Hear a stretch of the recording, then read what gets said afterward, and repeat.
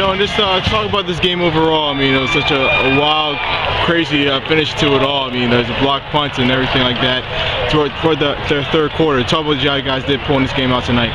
Yeah, um, you know, we're coming back from a loss, so uh, we're a little flat in the beginning. You know, first quarter 0-0.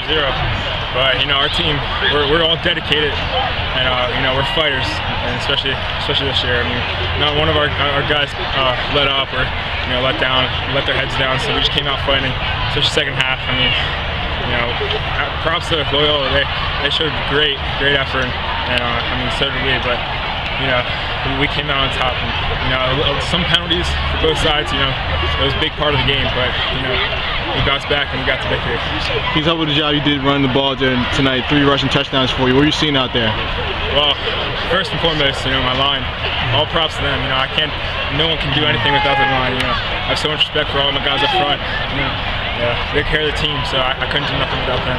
Talk about next week um, hosting St. Francis for homecoming. St. Francis, yeah, it's a big game.